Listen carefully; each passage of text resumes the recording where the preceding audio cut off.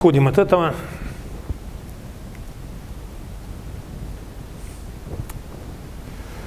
Вот и приступаем к нашей тематике. Ну что, сначала хотелось бы, как всегда, вопросы.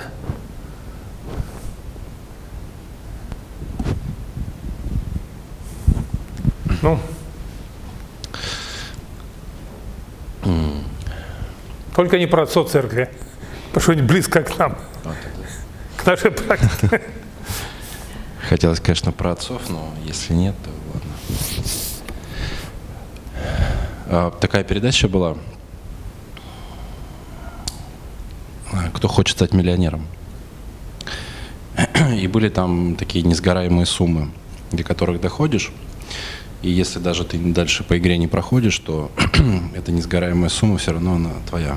Так, Так вот, э, если э, в практике такие несгораемые суммы, то есть э, если дойти до какого-то состояния, уровня, не знаю, и перестать практиковать, возможно ли сохранить что-то, какие-то результаты практики, остановив ее, прекратив? можно ли глубокая релаксация обмануть полиграф Хиллера, да?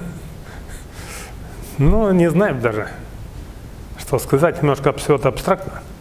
В результате, собственно говоря, что такое, ну, как бы, само молчание ума или, скажем, метальная релаксация, да? Ну, существует в коре мозга, да, всегда некие доминанты, то есть очаги возбуждения. Ну, например, вчера там вы с начальством пообщались, и он вас так достал, значит, да, что вы это и ночь помните, и день помните. То есть там, значит, если смотреть на томографе, значит, там такая зона, где вот ярко светится такое пятно возбуждения, да, нервная доминанта. Вот, а практика йоги, она доминанты все стирает. Просто, да, и тогда ровно мерцание коры. Без всяких этих, да, то есть, или, скажем так, вот, когда Артем проверяет своим аппаратиком, да, преобладание альфа-ритма. Ну, собственно говоря, да. Вот, поэтому чего можно этим достичь? Я не знаю, в прикладном варианте действительно, может быть, можно обмануть полиграф. Вот, а уж как... Ну, успокоиться можно, это точно. Причем самое интересное, что вот мне писали ребята, допустим, да, из Канады, наши писали. Черные откуда пишут, даже из тюрем пишут. Вот. Значит, так вот, э, там какие-то ребята из военного училища, не знаю, не помню какого, говорят, вот сдаем экзамены, и вот мандраж, а когда уже ты позанимался года полтора, с утра практика, три часа, мандража нет, идешь, сдаешь экзамены, без всякой суеты внутри, да, состояние меняется. Вот. И насколько можно изменить, в каких прикладных целях, ну я не знаю. Думаю, можно, ну, как бы широкий фронт гипотез представить, где это может быть полезно. В экстремальной ситуации. Ну да. Но с другой стороны, все зависит от типа нервной системы, да, значит, от предыдущего опыта, от возраста, от состояния физического. Столько переменных, что можно предположить что угодно. Как-то так. Вот, спасибо. Теперь хотел бы послушать вас. Да, как у вас там практика идет, как что, потому что это может быть интересно всем. Ну, я занимаюсь, э, как, в принципе, крайне раз разговариваю через день. Вот. а Практика в асанах, э, ну, расслабляюсь, скажем так, не, не всегда, а вот э, между асанами в, в эти вот периоды расслабления получается намного лучше. А как общее состояние? Общее состояние, ну, в принципе, нормальное. Ну, есть там какие-то, может, перепады определенные, но в целом более-менее. Ну, просто тут дело в том, что вот наш коллега, да, у него очень э, такое мощное здоровье, физика очень хорошая. Человек пользовался этим ресурсом неограниченно. Это Пока- правда, это правда, да. Да, пока, так сказать, э, не прозвучал звонок. А звонки бывают разного типа. Бывает, ну, как бы, некий метафизический намек, там, да, значит. А бывает так, что, ну, вот, просто находится слабое звено, вот, и начинает трещать. Это очень неприятно, поскольку я вот с такими людьми общался, с людьми вот такого уровня здоровья, чисто физики, да, значит, такие, ну вот, соматические люди, да, ну, обычно это все держит очень хорошо, но если уже ломается, то это очень неприятно, и человек никогда этого не испытывал.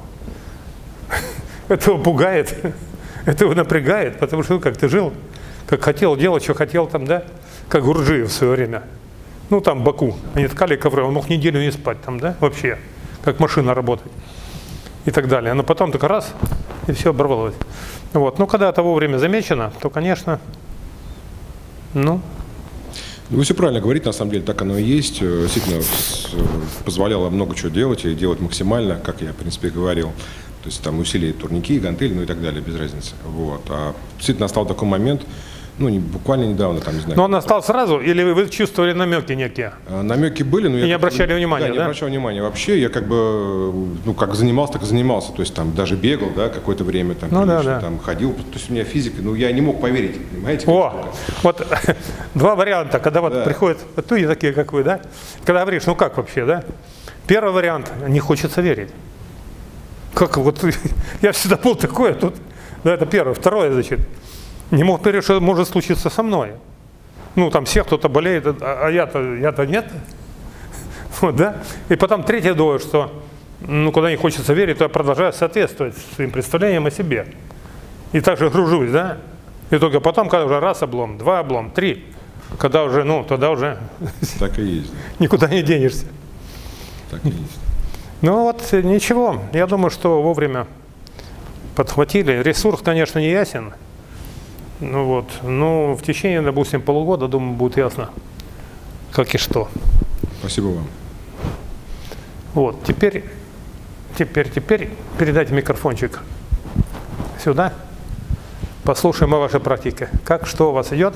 Да, всем доброе утро. Ну, я стараюсь заниматься каждый день практически. А в какие-то дни получается делать асаны, в какие-то только нидру. А что не получается в практике? А, как вы считаете? Расслабляться. Расслабляться физически или ментально? Ментально. Но практически каждый раз в нидре у меня не получается, ну, пунктирное сознание, угу. да.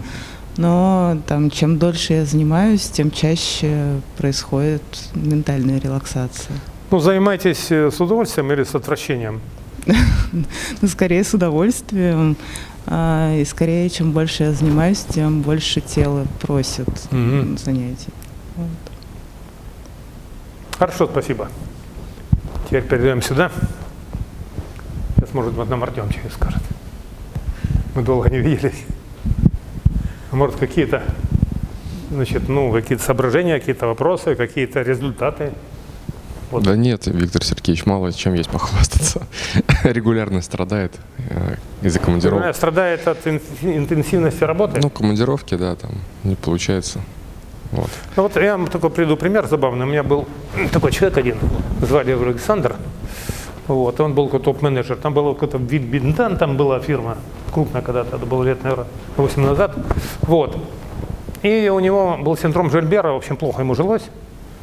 33 года уже никакой был. Когда с этим, а врачи говорят, это вообще не лечится, это наследственное. Стеклянная печень там же, желтое лицо, билирубин там 150, и в общем, короче. Ну вот. Когда он пришел в себя полностью, где-то ушло, наверное, наверное, года два с половиной, да, и, в общем, как бы стал нормально жить. Вот. Ему предложили какую-то работу, там это реорганизовали эту фирму, что-то с ней там делали. И про работу говорит, вот, парень, тебе нужно будет ездить, значит, вот по стране, значит, там, да, устанавливать коммуникацию, разворачивать там компьютерные какие-то эти дела, сеть делать. Вот. И ты за год заработаешь миллион долларов минимально, без премий всяких. Но дома ты не будешь. Вообще. И это будет, в общем, ну как бы, да, понятно. Он подумал, подумал, отказался.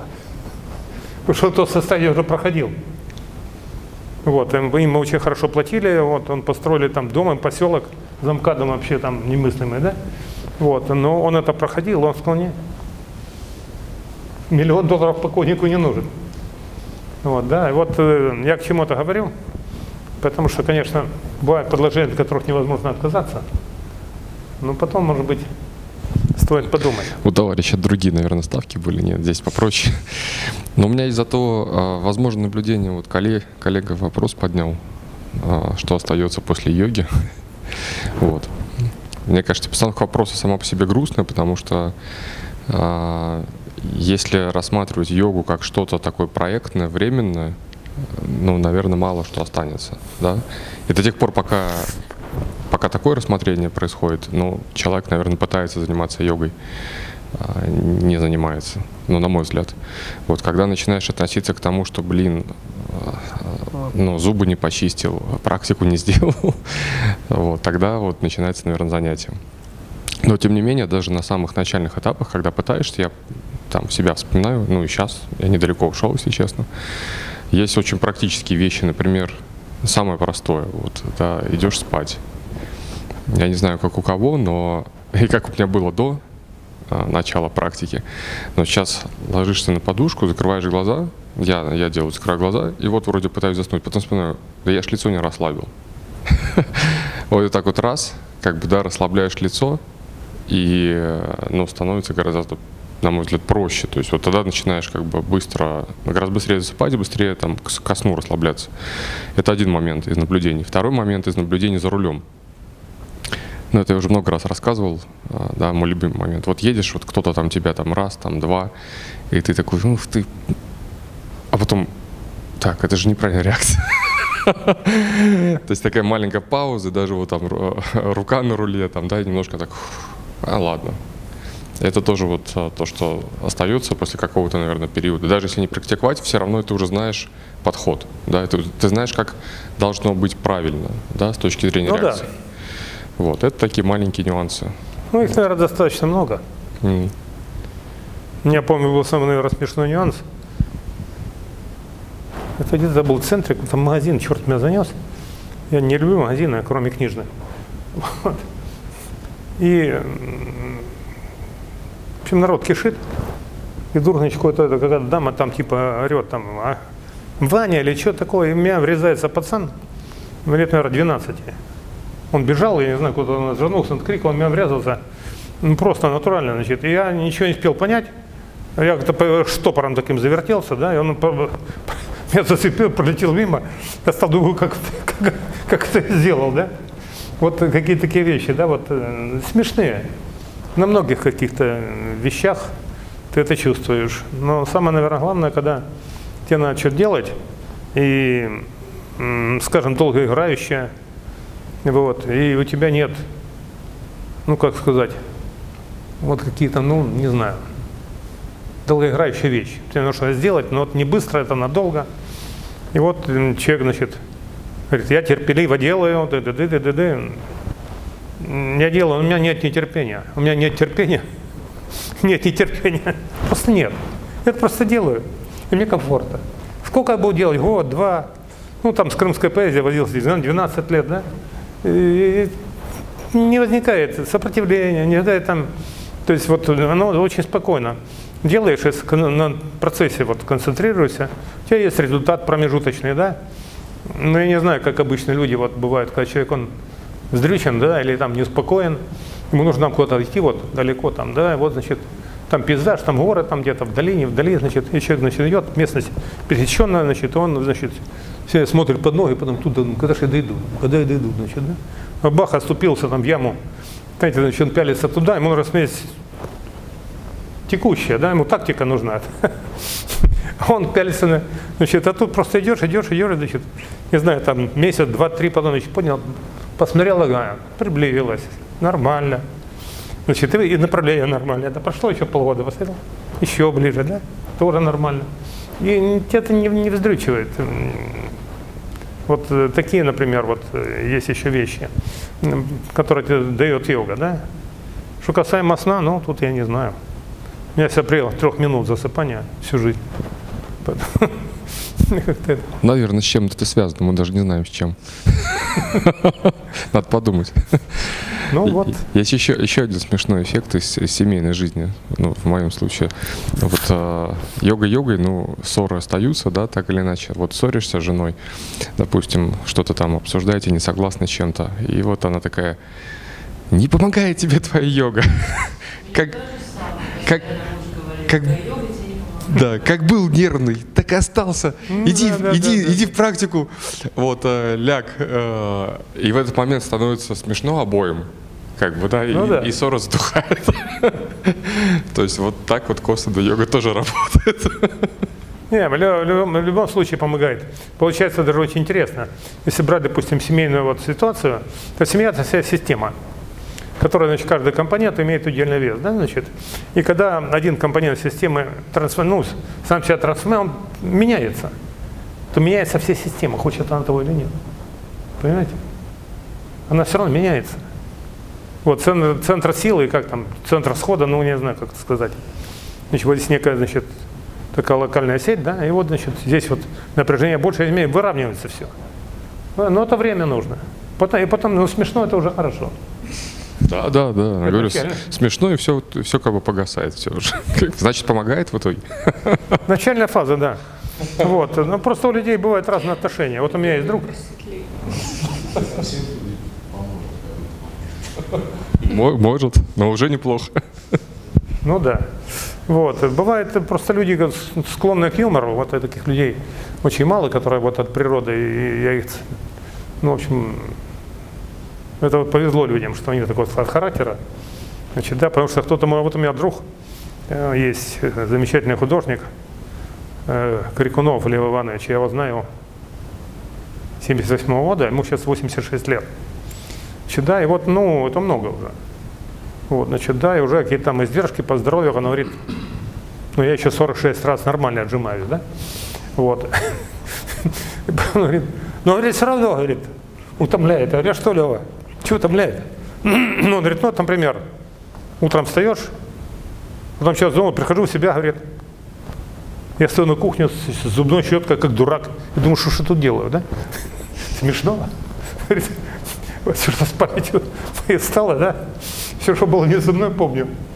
Ну вот отношение само, да? А когда человек практикует йогу долго, оно становится таким тоже. Отношение такое становится к жизни. Ну, как бы. Всегда-всегда позитивно. Всегда позитивно. Вот. Ну, я вспоминаю, у меня был такой один из давних пациентов, такой Юрий Владимирович, да, адвокат. Вот, он вырос в Подмосковье, каком-то тут селе, не знаю. Вот, и у него была очень интересная практика. У него был, во-первых, сена лихорадка, эм, ну, такая гадость. То есть наступает это, человек падает в горизонталь, ему жить нельзя, и валяется там никакой. Вот, значит, э, ну, ему было 40 лет, когда он начал заниматься. Где-то за года за три это все вытеснили. Вот, а потом очень интересное. У него пошло то, что называется сбросом. Причем в очень интересных формах. Вот он говорит, допустим, э, смотрю я со старшим сыном «Матрица». Вышел фильм «Матрица», да, первый год. Вот я смотрю, говорит, там какой-то эпизод, говорит, и вдруг мне становится плохо. Выскакиваю, выворачивает наизнанку, и я вспоминаю.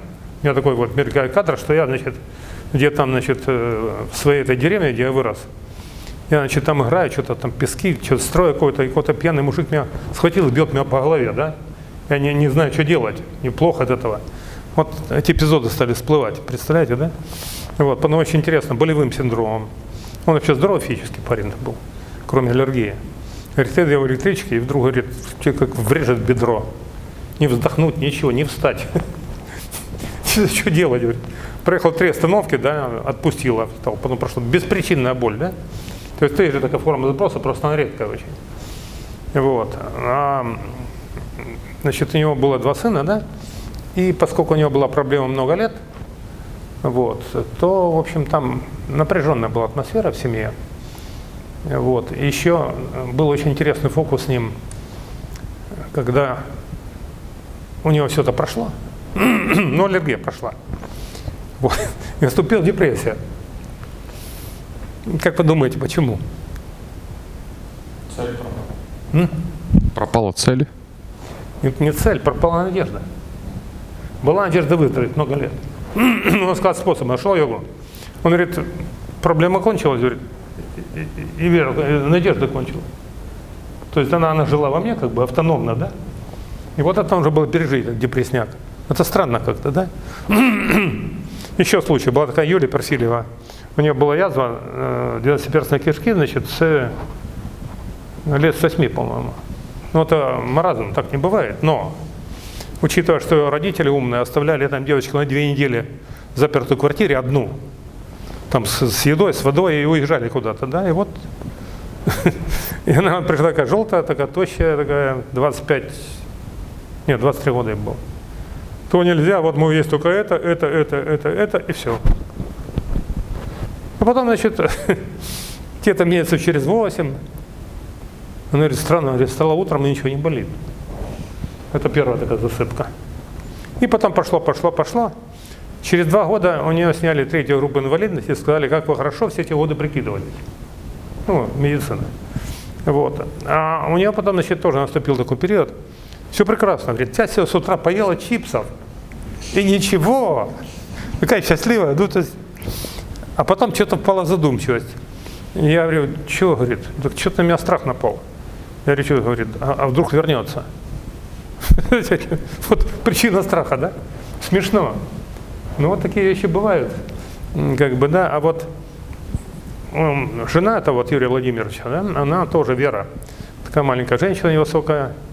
Потом, значит, с ней была разборка, потому что в какой-то момент времени у нее появились какие-то церебральные, ну, в общем, обмороки какие-то, потери сознания непонятные. Вот. И вроде бы и врачи ничего могут найти. Не вроде, может, она тоже будет его. Я говорю, ну давайте. Ну, просто глубокая релаксация никогда не помешает никому. И вот э, потом все это кончилось, вот тоже года через два. Но вроде бы не было причин. Да, вот таким проявлением, и медицина так и не поняла. Но там был один такой момент. Значит, она выросла в семье алкоголика, вот, который прожил много лет, и который семью много лет, значит, он там это, семь склянок из них выбивал. Вот, она была младшей дочерью. И вот, говорит, когда папа очередной запой, там рубит табуретки, там стол рубит топором, да, все, значит, это самое, смылись, и папа, значит, бушует тут в этой избе, значит, а она самая младшая дочка, Верочка, а у меня, говорит, было 5 или 6 лет, говорит, он меня одну узнавал. Вот меня запускали, Вера, ты иди к папе, он тебя узнает, он затихнет. И вот, говорит, я иду, вся трясусь, вся ледяная, не помню себя, значит, да. И так лет шесть. Представляете, да? А потом вопрос, откуда берутся эти проявления? Ну, травма. Причем непонятного ЕНЕЗа, где там не сделать с ней вообще непонятно. Потеря сознания, она боится всего, да, значит. Потом это все прошло. Ну, вот такие вот вещи, то есть вот какие причины, какие вот разгрузка, какие эффекты. Но это, в общем, но не все снимается йогой. Не все, к сожалению. Ну, это другая же тема. Кто-то хочет что-то добавить или спросить? Ну, тогда вопросов нет, приступаем к практике. Да, у